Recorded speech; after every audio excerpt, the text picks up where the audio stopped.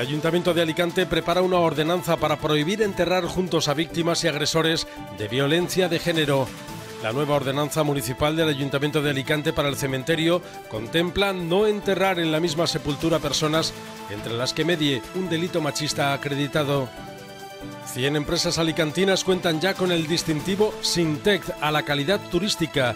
Hoteles, restaurantes, agencias de viajes, empresas de turismo activo, información turística, centros culturales y de interpretación, teatro, comercios o transporte, pero también la Policía Local de Alicante, el Castillo de Santa Bárbara y el Museo Arqueológico.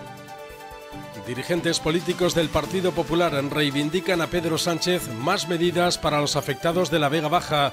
Lo reclama Carlos Mazón, el presidente de la Diputación Provincial de Alicante. Le pide que visite la Vega Baja para atender las reivindicaciones de sus regantes y agricultores. Y también el presidente de Murcia ve desolador el decreto del gobierno por la Dana. Valencia, Sevilla e Ibiza testarán las viviendas de alquiler en concesión. Son las primeras ciudades de España en las que se probará el nuevo modelo de vivienda de alquiler a precios asequibles anunciado por Fomento, consistente en la cesión de suelo público para la construcción y explotación de casas durante 50 años por parte de empresas privadas.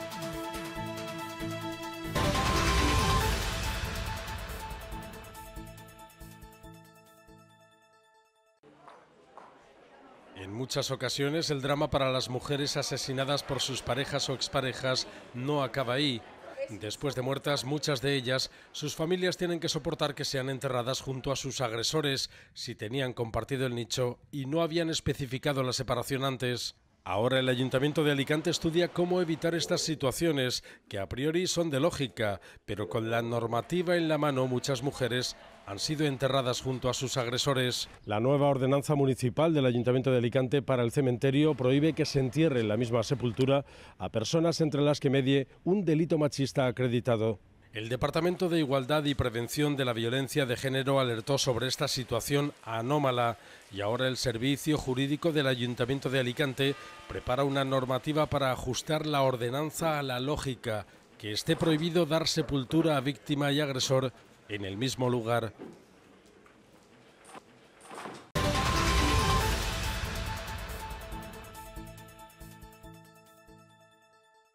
Siguen llegando pateras a la provincia de Alicante. Hay que recordar que ayer se rescató a unas 213 personas, de las cuales 94 fueron interceptadas en Murcia, pero trasladadas hasta la terminal de la Guardia Civil aquí en el puerto de Alicante. A estas cifras hay que añadir una nueva patera que ha llegado hasta las costas del sur de la provincia de Alicante. 14 personas, de las cuales 13 son hombres y hay una mujer. Según nos informa Cruz Roja, todos presentan síntomas de quemadura por el sol y el agua y de hipotermia. Ahora mismo están siendo analizados y luego pasarán a disposición de la Policía Nacional. De momento es algo extraordinario, es decir, esto ha sido algo muy puntual. Eh, nosotros no podemos confirmar nada que no, que no hemos visto. A nosotros nos traen los inmigrantes de momento en, embarcados, los encuentran en alta mar, nos dan el aviso y en el momento en que desembarcan nosotros nos encargamos de atender la primera, la primera toma de contacto con ellos pero no sabemos, eh, ni, hemos visto un barco nodriza, ni podemos confirmar este hecho porque Cruz no puede confirmar algo que todavía no, no, sabemos. Simplemente nos dan los avisos y en el momento en que recibimos la alerta de que hay una patera o posible patera, lo único y más importante que nos interesa es saber la localización, eh, si se puede visualizar en ese momento el alertante que lo haya indicado o el barco con los compañeros de salvamento marítimo nos indican cuántas personas vienen a bordo, si hay mujeres, si hay menores, si están heridos, que es lo más importante de todo, para poder digamos, movilizar los equipos que tenemos en la provincia y los perfiles adecuados para poder atenderles. Y sobre todo en la primera toma de contacto, que es el desembarco, y en la afiliación sanitaria, que es donde detectamos realmente si, si alguien necesita o precisa de manera urgente ser trasladado al hospital. Por eso les preguntamos que es muy importante porque en la primera, cuando desembarcan, mediante nuestra traductora, lo que hacemos es que les explicamos cuál va a ser el desarrollo de la intervención, qué es lo que se les va a hacer. Hay que entender que ellos vienen eh, a un país que no, conocen. lo más importante de todo es que el idioma no lo conocen y es un factor, la comunicación es muy importante para poder, digamos, saber qué es lo que va a pasar conmigo.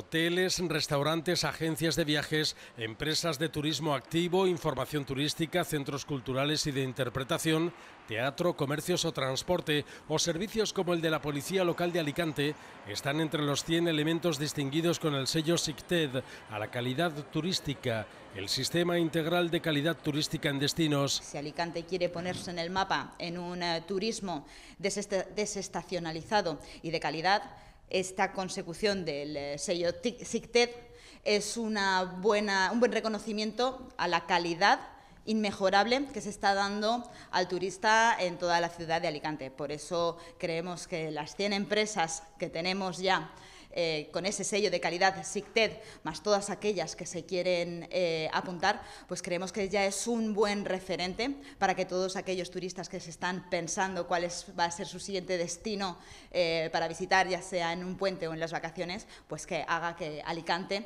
sea esa elección. La comunidad valenciana es el segundo destino nacional tras Andalucía con mayor número de servicios turísticos participantes en este proyecto, con 678 entidades, y la ciudad de Alicante toma posiciones entre los destinos con más sellos de calidad para conseguir convencer a los visitantes sobre los servicios turísticos de la ciudad. Nuestra apuesta por este sello de calidad desde el Patronato de Turismo es tan férrea que queremos potenciarla en, estos cuatro años, pues con más eh, trabajo en común para que se generen sinergias entre todos esos eventos que no solamente son hoteles, que no solamente son restaurantes, que no solamente son museos, son todo tipo de empresas que tienen alguna relación directa o indirecta con el sector del turismo. Por eso queremos generar más ponencias, más eh, eventos más distendidos para que se generen esos networkings y por el final eh, que con esa interrelación entre los múltiples sectores que, relacionados con el turismo que tienen el sello SICTED, pues que al final que, generen sinergias y que trabajemos todos juntos para que Alicante sea un destino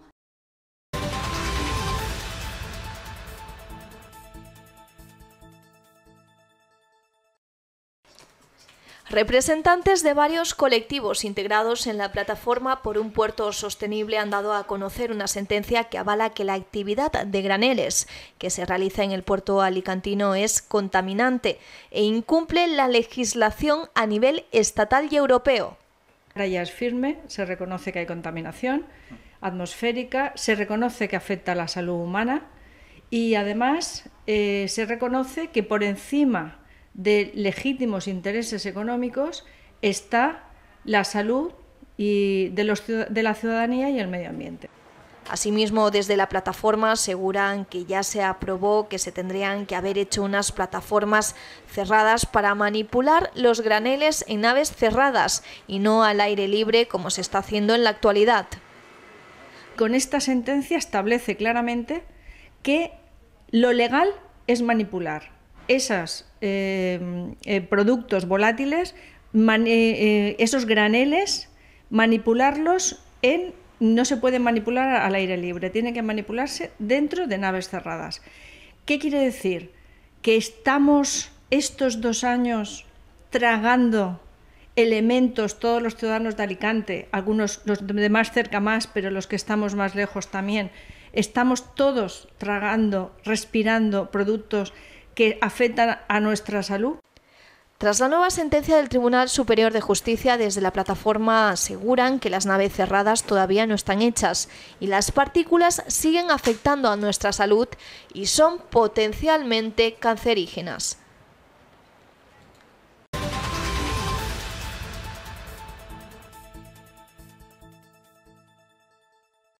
El Partido Popular reclama a Pedro Sánchez que no deje de lado a los agricultores afectados por la dana en Alicante y Murcia. El presidente de la Diputación Provincial de Alicante, Carlos Mazón, ha pedido al presidente del Gobierno que visite la Vega Baja y se reúna con sus agricultores y los regantes y le reclama que enmiende de forma inmediata el Real Decreto Ley que recoge las ayudas de la Dana, ya que lo considera un insulto hacia esta tierra por dejar fuera el 93% de los afectados por las inundaciones. Lo que no tiene ningún sentido es que un real decreto de ayudas del Gobierno de España para una de las eh, catástrofes más importantes que han ocurrido en la provincia de Alicante en los últimos decenios se deje fuera el 93% de los agricultores y los regantes. Tiene que reaccionar el Gobierno de, España. El presidente de la región de Murcia, Fernando López Miras, también califica del todo insuficiente y desolador el decreto de ayudas aprobado por el Gobierno central para los damnificados por la gota fría al sur de la comunidad valenciana, especialmente en la comarca de la Vega Baja. Al igual que el millón y medio de murcianos, están solos y los ha dejado solos un gobierno socialista, Pedro Sánchez, con un decreto de ayudas del todo insuficiente y del todo desolador. Ya tenemos el compromiso, así se llevó también por parte del Partido Popular en la Diputación Permanente al Congreso de los Diputados de cuando Pablo Casado sea presidente del Gobierno. Sin duda aquellos que lo han perdido todo tendrán al lado un Gobierno de España tal y como necesitan en una catástrofe nacional. Los dirigentes del Partido Popular reprochan a Pedro Sánchez su olvido con los damnificados en la Vega Baja y le reclaman una respuesta rápida para que no se vean abocadas a la ruina aquellas personas que no tenían aseguradas sus cosechas o sus empresas.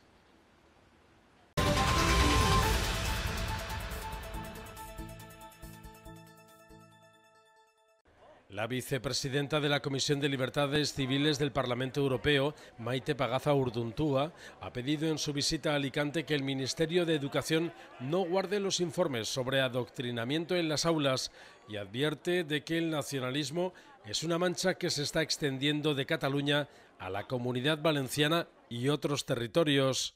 El adoctrinamiento a los niños es una de las peores cosas que se pueden realizar, porque primero está el discurso de la hostilidad, la generación de una fobia o de un enemigo. En este caso es todo lo que suena a español.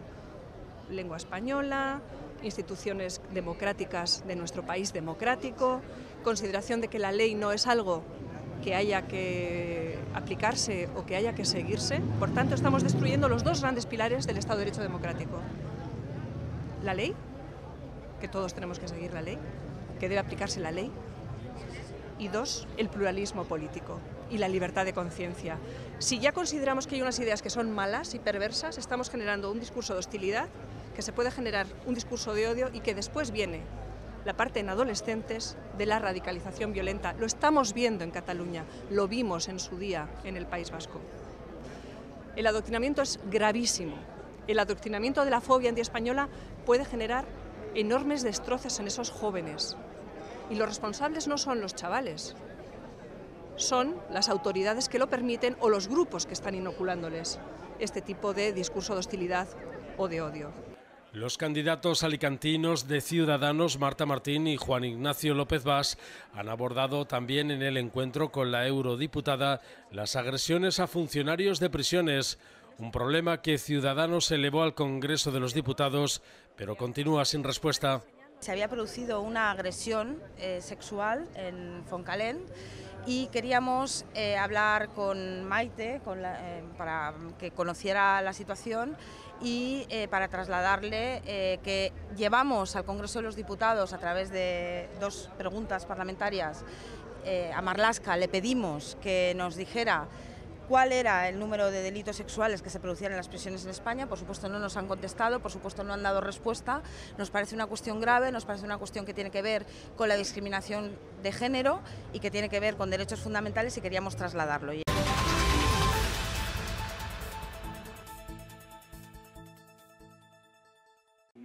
La Cámara de Comercio de la provincia de Alicante junto al Banco Sabadell ha celebrado una jornada sobre el mercado de Argelia, un mercado cercano e interesante para los empresarios alicantinos. El mercado argelino para nosotros es muy importante por proximidad y por, eh, vamos, por importancia que tiene.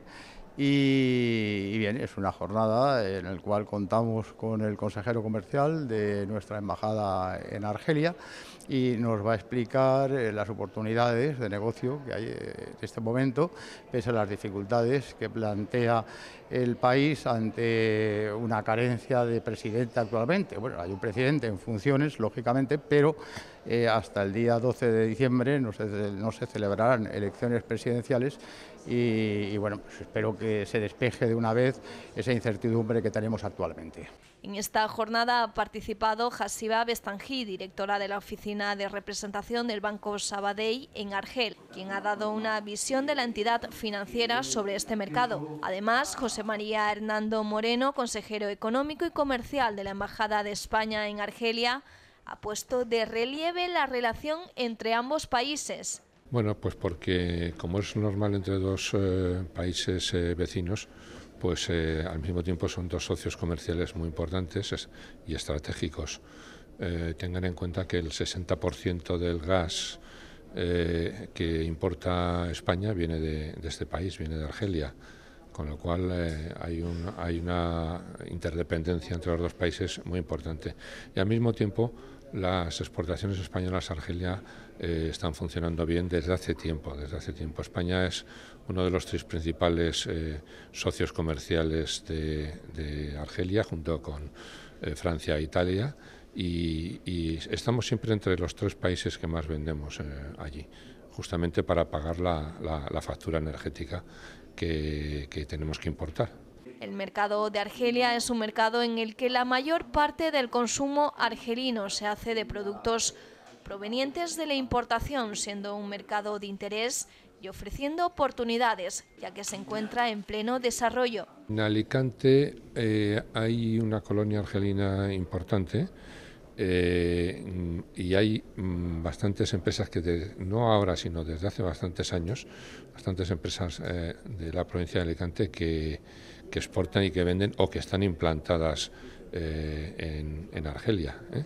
tanto en el sector agroalimentario, en bollería, como en, otros sectores industriales. Pero hay bastantes empresas, o sea que, las relaciones son muy buenas y eso es importante para esta provincia. Argelia es uno de los principales mercados para la Unión Europea, siendo principales clientes en 2018 España, Francia e Italia.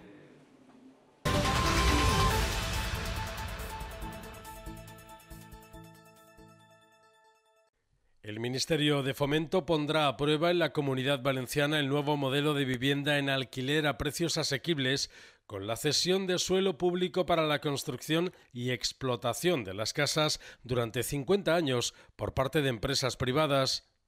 Para desarrollar y urbanizar estos suelos, Fomento asignará al organismo SEPES a finales de este año unos 100 millones de euros. Valencia es, junto con Sevilla e Ibiza, una de las ciudades elegidas por el Ministerio de Fomento para poner en marcha el plan de alquiler de viviendas. Se trata de conceder a empresarios privados suelo público para que construyan viviendas que puedan estar accesibles al alquiler durante 50 años. Se está redactando un pliego de condiciones para que transcurridos esos 50 años las viviendas pasen a ser de titularidad pública. También se establecerá el precio del alquiler, siempre por debajo de los precios de mercado, así como el tipo de inquilino que podrá tener acceso a estas viviendas. Una de las cuestiones que vimos inmediatamente es que había suelo residencial en mano de organismos del Estado, que es donde primero podemos empezar a trabajar nosotros, que había estado paralizado durante mucho tiempo nuestro objetivo fundamentalmente en manos de SEPES y además suelo que está muy bien ubicado en una de las ciudades más tensionadas a nivel de precios de alquiler. Eh, analizamos los suelos y empezamos a trabajar sobre los mismos. Hemos empezado a trabajar también y además conjuntamente con la Asociación de Promotores y, también con los colegios de arquitectos, es decir, estamos teniendo en consideración eh, criterios de las partes más importantes del sector en un pliego eh, sobre derecho de superficie para que estos suelos puedan ser desarrollados y urbanizados de momento por el sector público y a continuación desarrollados edificaciones por parte del sector privado en el que estarán destinadas a suelo en alquiler asequible a unos precios controlados y establecidos desde luego en el propio pliego de superficie y destinado también a unos eh, sectores concretos de la población. El objetivo es que haya seguridad jurídica y unos márgenes de rentabilidad razonables para los promotores inmobiliarios, para que la medida sea atractiva a las empresas constructoras.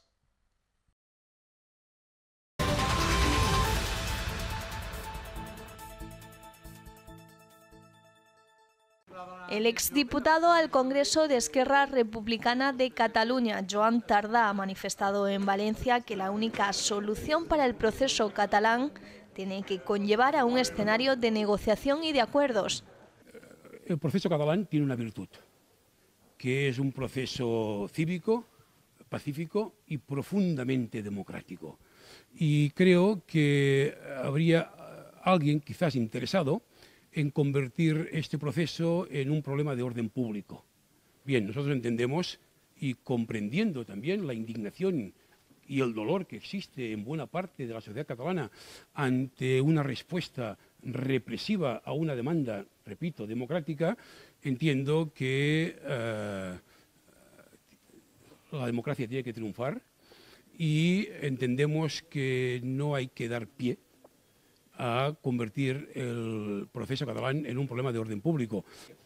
Sí, es que yo siempre he dicho que hay que buscar una solución eh, dialogada, negociada y acordada. De hecho, esta es la opinión que desde hace meses está formulando una persona, eh, Oriol Junqueras, que se ha llevado la peor parte de la sentencia. Tarda ha realizado estas declaraciones ante los medios de comunicación momentos antes de participar en un coloquio en el Salón de Actos de la Biblioteca Gregory Mayans de la Universidad de Valencia. Un coloquio que ha contado con unas fuertes medidas de seguridad, ya que hasta la universidad se ha presentado un grupo de extrema derecha que ha intentado boicotearlo. Finalmente, la unidad de intervención policial han impedido que el grupo de extremistas se acercase a los estudiantes o al lugar donde se iba a celebrar el coloquio.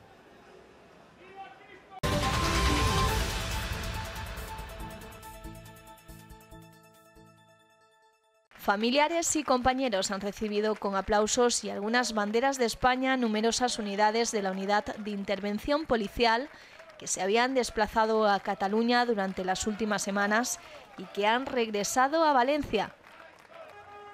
Las unidades de intervención policial de la Policía Nacional que han regresado a Valencia tras ser relevadas de su labor en Barcelona ante las protestas callejeras por la sentencia del Supremo del Procés han sido recibidas entre aplausos y vítores a su entrada al complejo de zapadores.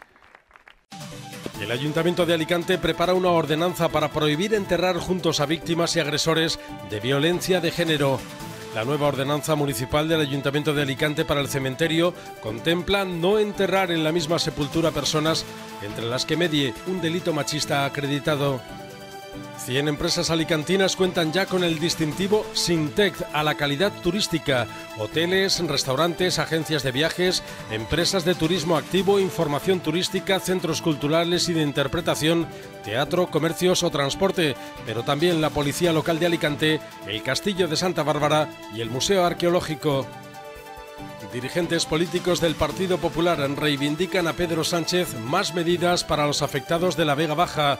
Lo reclama Carlos Mazón, el presidente de la Diputación Provincial de Alicante. Le pide que visite la Vega Baja para atender las reivindicaciones de sus regantes y agricultores. Y también el presidente de Murcia ve desolador el decreto del gobierno por la Dana.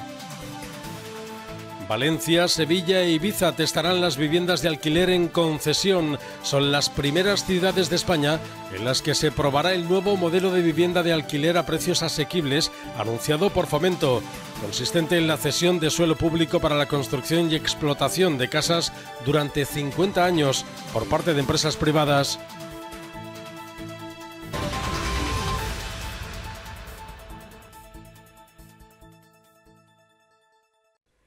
La Guardia Civil y la Policía Nacional han desarticulado una de las organizaciones más activas del narcotráfico en Andalucía en una operación en la que han sido detenidos 45 de sus miembros e incautados 7.000 kilos de hachís, 7 embarcaciones y 8 armas de fuego.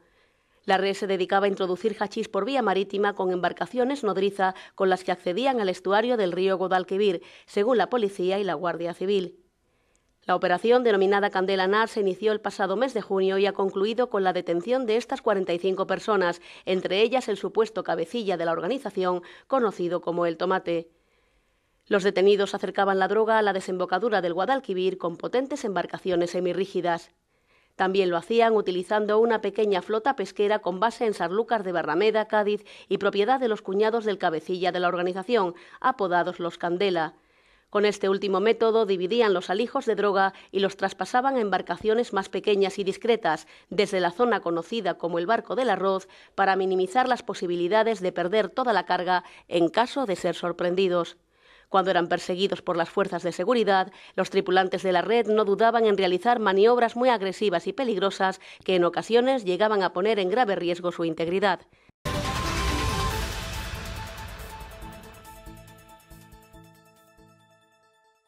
El IBEX 35 encadena su cuarta jornada consecutiva al alza, aunque cierra prácticamente plana con un repunte del 0,03% hasta situarse en los 9.433 puntos. El resto de las principales plazas europeas también cierran con ganancias contagiadas por el clima positivo que ha generado el acercamiento entre China y Estados Unidos y la prórroga del Brexit. La jornada también ha estado marcada por la victoria en las elecciones de Argentina del candidato peronista Alberto Fernández frente al actual presidente Mauricio Macri. Inicialmente ha sido recibida con una subida del 6,5% en el principal índice del país, que enseguida se ha dado la vuelta y en el momento del cierre de los mercados en España marcaba un descenso del 3,15%. Hoy se ha conocido asimismo que el Banco Central del país ya ha tomado medidas para controlar la compra de dólares estadounidenses hasta un máximo de 200 unidades por persona con el fin de evitar que se agoten las reservas de esta divisa. De vuelta al IBEX 35, Siemens Gamesa es el valor más alcista de la jornada al subir un 1,8%. Le siguen Melia Hoteles y ArcelorMittal que rebotan más de un punto y medio porcentual. En el extremo opuesto, el valor más castigado es Viscofam, que se deja casi un 4%. Le siguen ENCE, que cae un 2,4%, y Bankia, que retrocede un 1,8% después de que la entidad anunciase que ganó hasta septiembre 575 millones de euros, un 22,6% menos que en el mismo periodo del año anterior.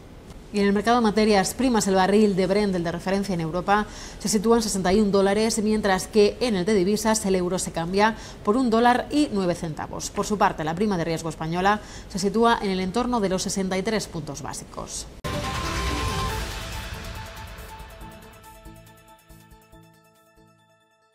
El juicio por el asesinato de Diana Kerr, que debía comenzar hoy, se ha suspendido al no poderse constituir el jurado popular.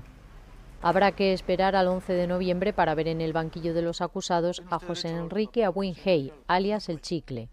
El autor confeso de la muerte de la joven madrileña ya compareció en la audiencia provincial de A Coruña por el intento de rapto de otra joven en la localidad coruñesa de Boiro en diciembre de 2017. Unos hechos que precipitaron su detención como sospechoso del crimen de Diana Kerr. Entonces fue condenado a cinco años y un mes de prisión por detención ilegal y agresión sexual, esta en grado de tentativa. En este nuevo proceso, uno de los puntos claves de la vista oral será dilucidar si la joven madrileña fue agredida sexualmente, como defiende Fiscalía y acusación particular, o no.